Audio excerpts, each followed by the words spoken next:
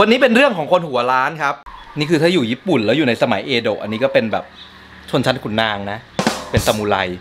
สำหรับในวิดีโอนี้นะครับจะเป็นการแชร์ประสบการณ์นะครับในการทำวิกติดกาวนะครับว่าตลอดที่ใช้งานมาเนี่ยผมติดวิกมาตั้งแต่วันที่ 6 พฤศจิกา ตอนนี้วันที่ 10 7ธันวาก็ประมาณ 40 วันนะ 41 วันละนะครับ อย่างที่บอกไปในวิดีโอที่แล้วนะ ว่าวิกติดกาวเนี่ยจริงๆมันอยู่กับหัวเราได้ประมาณ 20ถึง40 วันเนี่ยสูงสุดนะครับ ผมก็รอแบบเอาสุดๆ จริงๆ นะ สุดๆ จนแบบกาวมันล่อนแล้วเดี๋ยวจะให้ดูนะครับ คือตอนนี้เนี่ยกาวมันหลุดแล้วเนี่ยเออเนี่ยเนี่ยเนี่ยคือกาวมันหลุดออกมาละนะครับ คือเนี่ยเห็นไหมเนี่ยหลุดละนะครับ นี่เออนะครับแต่ว่าถ้าเอามือกดๆมันก็ยังกดได้อยู่นะ เพราะแต่ว่ามันมันสะผมหรือว่ามันเอาไปดำน้ำเล่นกีฬาไม่ได้ละตอนนี้นะครับ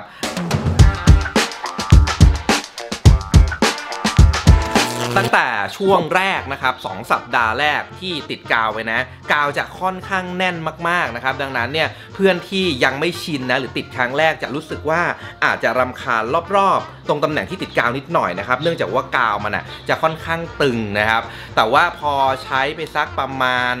2 สัปดาห์ เราจะรู้สึกว่ามันเข้ากับศีรษะเรามากๆนะครับ จนแทบจะเดี๋ยวจับผมนิดนึง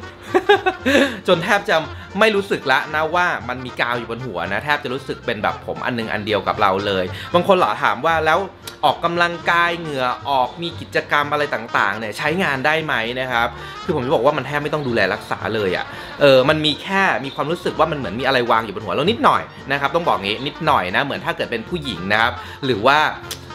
คนที่เคยคาดผมหรืออะไรเงี้ยนะก็จะรู้สึกเหมือนมีใครที่คาดผมหรือมีกิ๊บติดผมอยู่บนหัวชิ้นใหญ่ๆเออในการทำกิจกรรมต่างๆนะครับผมต้องบอกว่าเพื่อนๆเห็นผมนะทำงาน DIY นะหรือใครที่ตาม Facebook อยู่นะครับจะเห็นเพราะว่าผมเล่นกีฬานะผมต่อยมวยผมดำน้ำนะครับดังนั้นเนี่ยในเรื่องของเหงื่อออกนี่ไม่ต้องห่วงเลยนะเพราะว่าต่อยเนื้อต่อยมวยเนี่ยเหงื่อท่วมทั้งตัวนะครับ ก็ ไม่มีปัญหาครับ พอออกกำลังกายเสร็จก็ไปสระผม แต่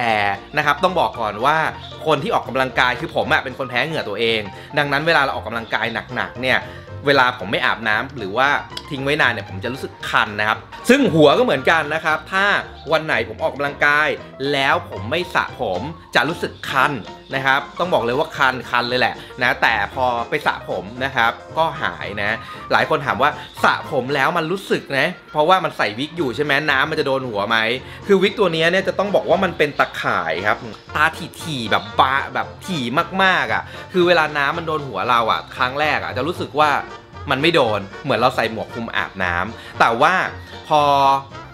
อาบไปสักแป๊บหนึ่งน้ำมันจะเริ่มซึมๆลงไปข้างในครับ จะเริ่มรู้สึกแฉะๆนะ แต่ว่าก็เวลาเราฟอกชมพูอะไรอย่างเงี้ยมันไม่ได้ลงไปบนหัวหรอกนะครับ เท่าที่ผมรู้สึก ทีเนี้ยผมที่ผมใช้เนี่ย มันไม่ใช่ผมจริงนะครับมันไม่ใช่ผมจริงนะมันเป็นเส้นใยสังเคราะห์ ซึ่งส่วนตัวผมรู้สึกว่าเส้นใยสังเคราะห์มันก็ดีนะครับเพราะว่ามันไม่ต้องคอยไปบำรุงไงเส้นผมเนี่ยถ้ามันเป็นส้มเส้นผมจริงใช่ไหมเราต้องคอยมาบำรุงว่า เดี๋ยวมันจะหมดอายุมันอะไร แล้วก็มันจะค่อนข้างขาดง่าย แต่เท่าที่ผมใช้ครับเส้นใยสังเคราะห์เนี่ยคือขาดยากมากนะครับแทบไม่มีอาการของเหมือนแบบวิกหลุดหรือแบบร่วงออกมาเลยนะเพราะฉะนั้นเนี่ยประเด็นของการแบบเล่นกีฬานะครับ แล้วแบบวิกมันหลุดออกมาหรืออะไรเงี้ยไม่มีแน่นอนนะครับทีนี้เนี่ย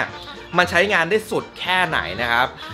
ต้องบอกว่าระหว่างที่ใช้งานไปนะครับ ผ่านไปสัปดาห์ที่ 3 เราจะเริ่มเห็นว่าจอเราหรือผมเราแท้ๆเนี่ยมันเริ่มยาวขึ้นครับ ซึ่งถ้าหลายคนสังเกตเห็นในวิดีโอผมจะบอกว่า เอ๊ะ พี่ครับผมรู้สึกว่าวิกพี่มันเริ่มดูหลอกๆอะไรอย่างเงี้ยเออจะบอกว่า คนปกติอะที่เขาไม่รู้จักผมอะเขาไม่รู้ด้วยซ้ำว่าผมใส่วิกนะ แต่คนที่ติดตามดูผมอยู่ตลอดเวลาอาจจะสังเกตเห็นอะไรแบบนี้นะ เพราะฉะนั้นเนี่ยต้องเห็นว่าอย่างเงี้ยตอนเนี้ย ถ้าดูหลอกไหมคือตัวผมเองอะผมไม่ได้รู้สึกว่ามันหลอกอะไรมากมายนะ แต่บางคนก็อาจจะแบบซีเรียสแบบต้องเหมือนจริงนะ แต่ในเมื่อเราใส่วิกอะมันไม่ใช่ของจริงอยู่แล้วนะ ผมว่าไม่อยากไปซีเรียสเลยมันดีกว่าแบบหัวล้านไม่มีผมตั้งเยอะแล้วอะทีนี้ที่มันดูหลอกๆเพราะอะไรครับเพราะว่าผมจริงของเราข้างในเนี่ยมันเริ่มยาวแล้วครับพอมันยาวนะมันก็จะดันนะครับ มันก็จะดันตีนผมนะครับทำให้วิกเนี่ยมีการเคลื่อนตัวนะครับ ของผมเนี่ยสังเกตว่าตอนทำตอนแรกเนี่ยเห็นไหมผมมันไม่ได้ยาวลงมาถึงขนาดนี้นะ จริง ๆ ผมมันจะต้องขึ้นมาอยู่แบบประมาณคิ้วเดี๋ยวเลื่อนเนี่ยอืม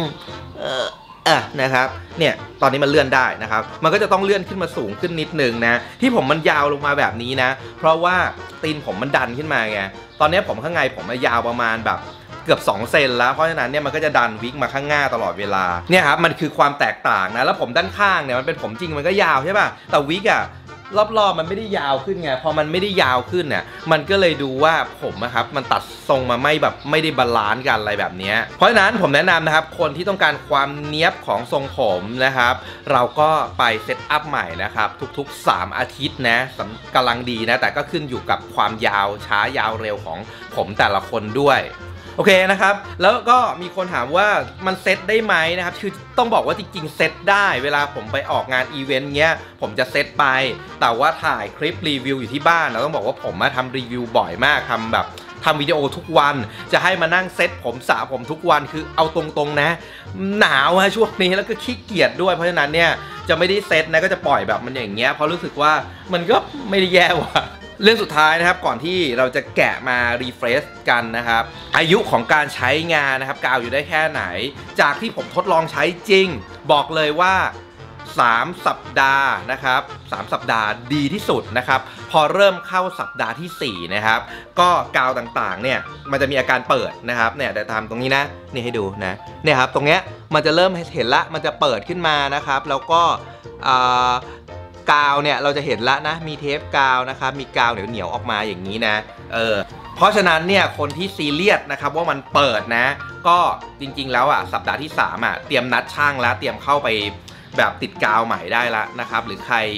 มีกาวหรืออะไรเงี้ยจะมาแต้มเสริมไว้ก่อนนะครับ ก็ทำได้นะทำได้นะจริงๆแล้วกาวเราซื้อซื้อกับช่างไว้นะครับ ซื้อสำรองไว้ก็ได้นะเผื่อการเหตุฉุกเฉินนะครับ แล้วหลังจากนั้นเนี่ย กาวมันจะเริ่มเปิดขึ้นเรื่อยๆครับ เปิดขึ้นเรื่อยๆ ตามผมที่ยาวเราเลยนะ ซึ่งตอนนี้ครับอย่างที่ทำให้ดูครับ คือของผมเนี่ยมันเปิด เนี่ยมันเปิดได้อย่างเงี้ย เนี่ยมันเปิดได้อย่างเงี้ยเห็นไหมเออ เนี่ยนะครับมันเปิดขึ้นมาครึ่งหนึ่งอย่างนี้ละแต่ต้องบอกก่อนครับว่าถึงมันเปิดมาขนาดเนี้ยมันก็ไม่ใช่ว่าเราเดินออกไปข้างนอกครับลมพงลมพัดมันจะหลุดนะ คือมันก็ไม่ได้หลุดเนี่ยเห็นไหมถ้าผมจับอย่างเงี้ยอะผมกดไปก่อน อึ๊บกาวแน่นละนะครับ แล้วพอผมจับอย่างเงี้ยมันก็ไม่หลุดนะ